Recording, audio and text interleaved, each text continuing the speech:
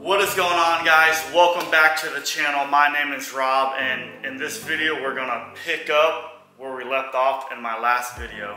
Now my last video we were working on ways to keep kind of the rotor a little bit cooler on track and in this video we're gonna be doing some uh, I guess you would call it some brake maintenance, right? We're gonna talk about different fluids. We're gonna talk about a dry boiling point versus a wet boiling point. And if you're starting to track a car, why I would highly recommend you add some track fluid. More in this video, stay tuned.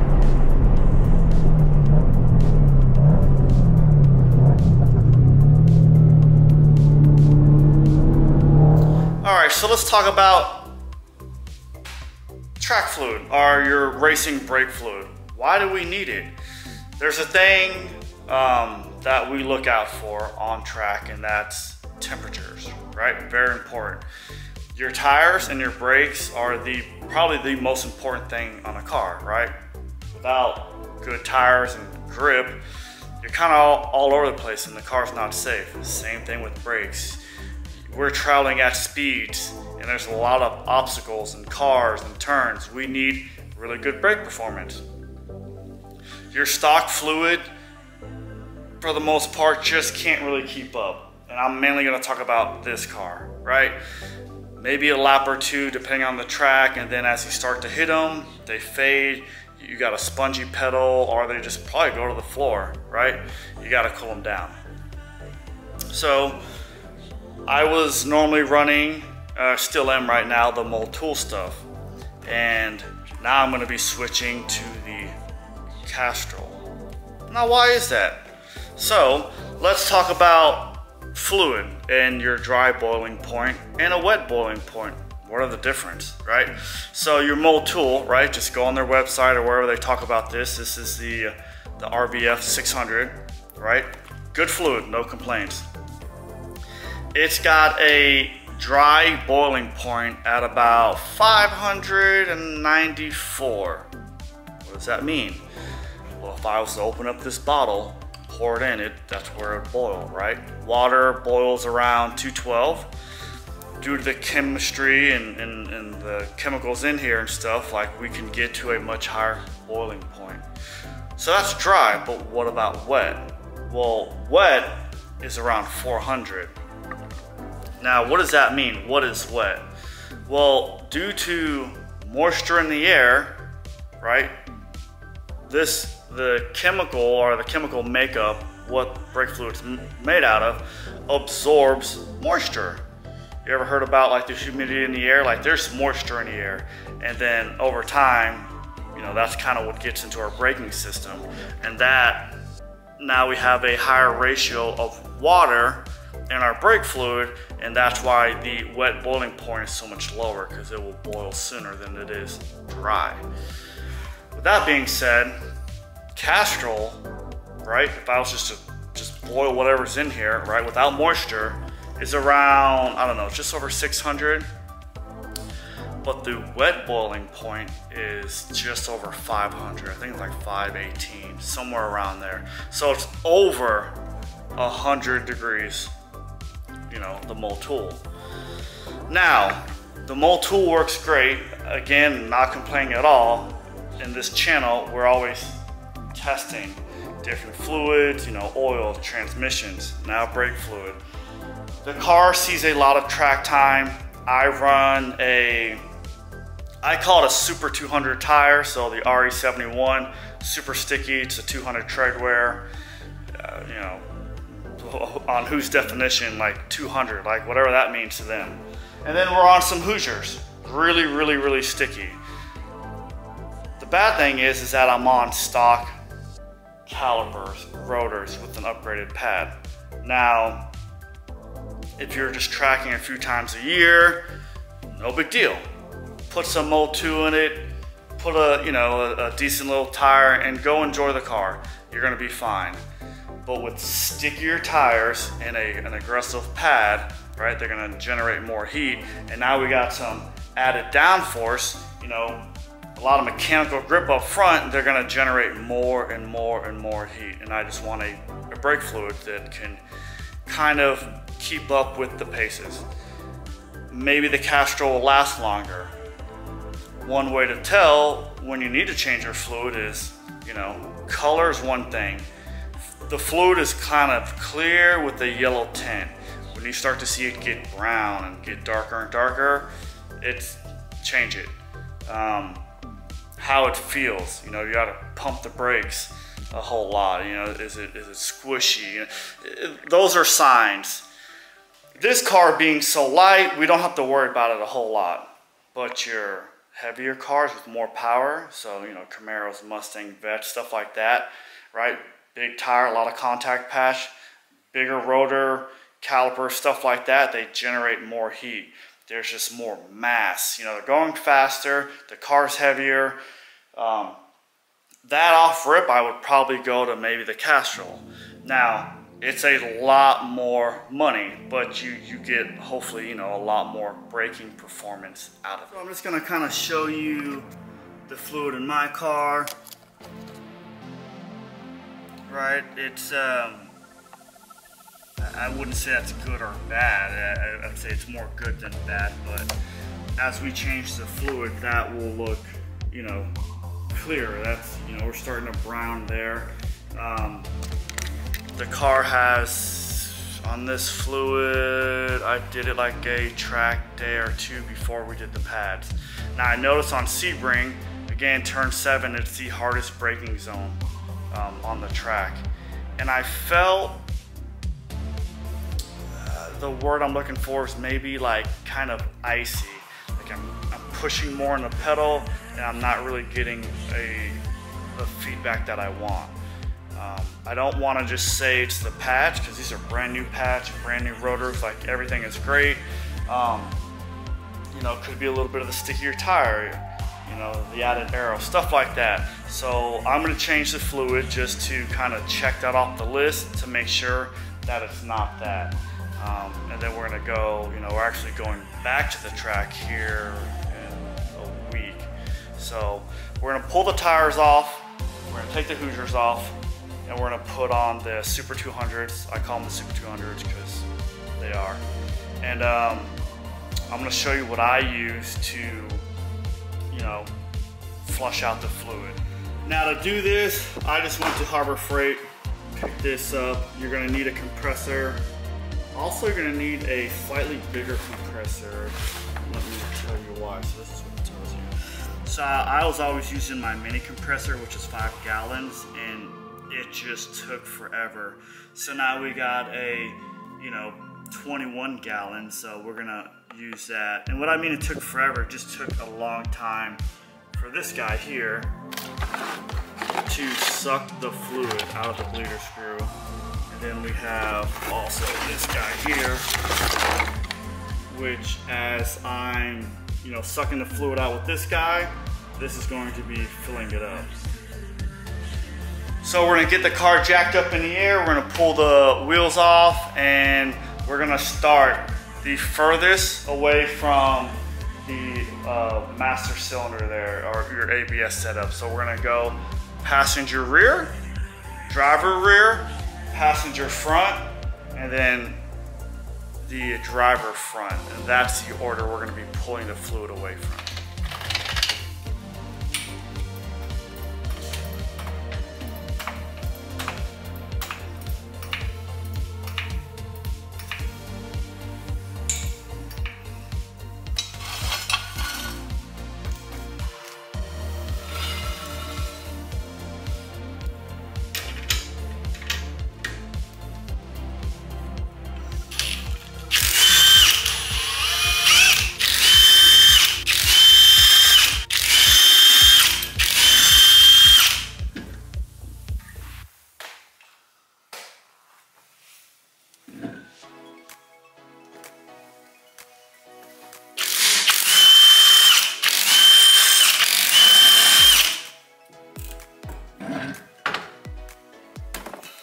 All right, so now that we got the back wheels off, we're gonna go hook up the, I don't know, the fill tube, uh, and then get the bleeder, plug in the compressor, hook up the line, and then start to pull some fluid. All right, so in the kit, you're gonna get this uh, fill bottle, And then you're gonna get a bunch of uh, master cylinder reservoir adapters. Basically, you're gonna screw this on top of this, fill your fluid, and then, you know, pour this down into the master cylinder.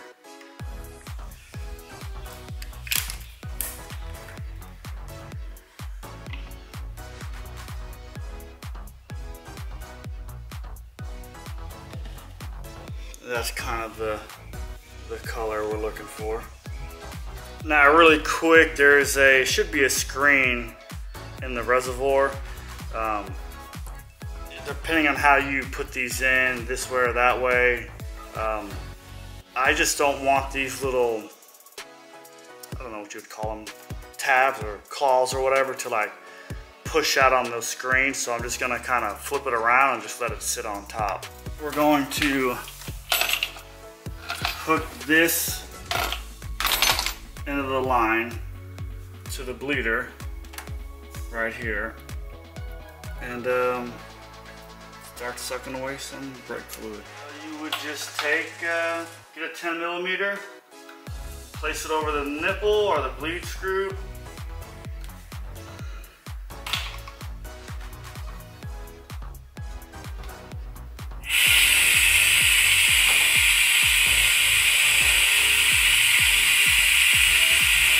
and you can start to see the fluid coming out.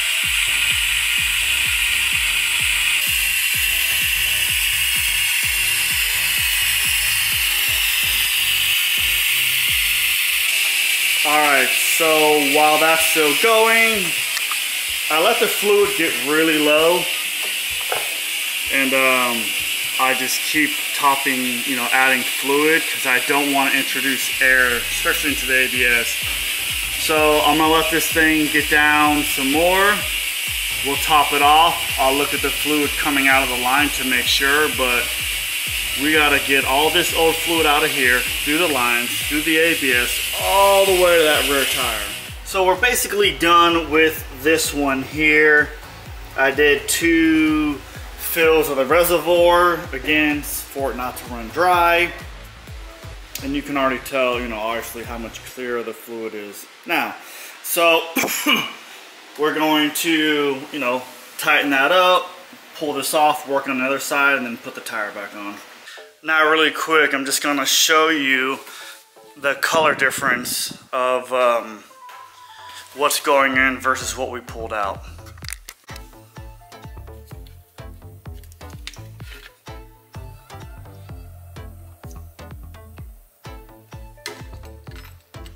So this is the fluid that came out versus what's going in. You can already tell the difference. But let me open this up.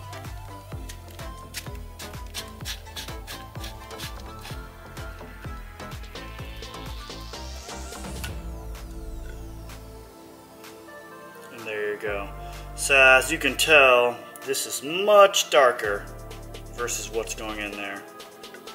And that's one of the signs that uh, I would recommend to change fluid.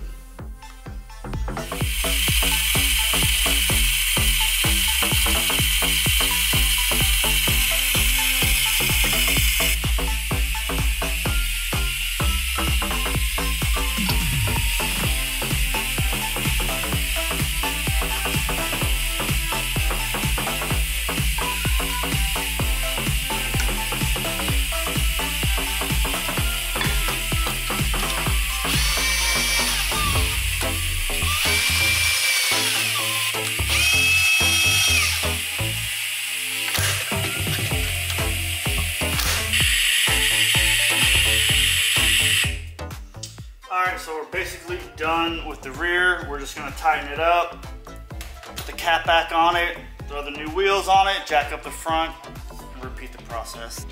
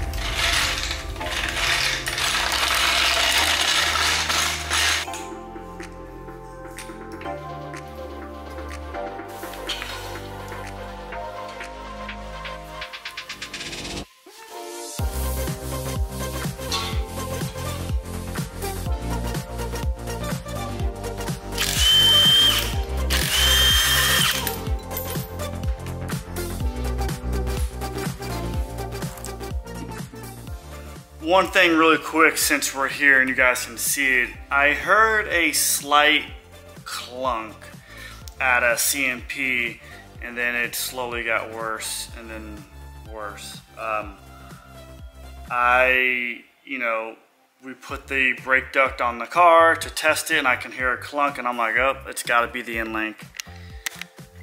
And sure enough, it's hard to see, but Yep, so we're just gonna tighten that guy up there and then down there and just check all the hardware to make sure, but um, you know, good maintenance.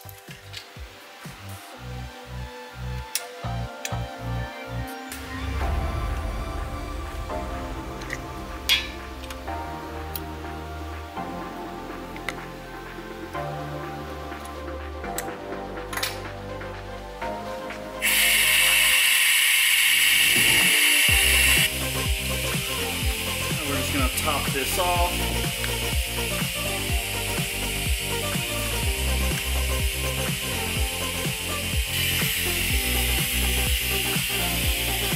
We're on the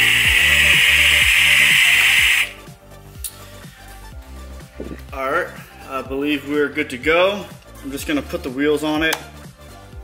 You know, obviously tighten up the bleeder, put the wheels on it uh, pump the brakes, get rid of, you know, when you first start to hit the pedal, you're gonna feel, it's gonna feel spongy and like there's nothing there.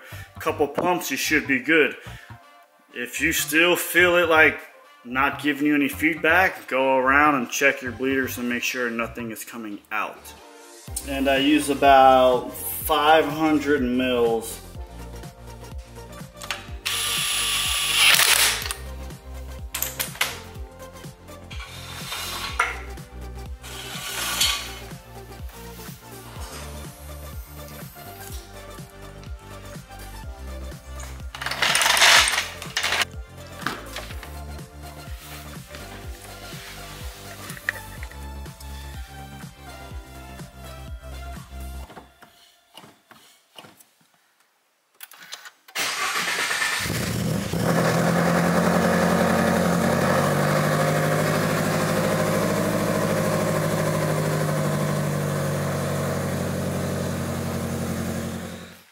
basically gonna do it for this video.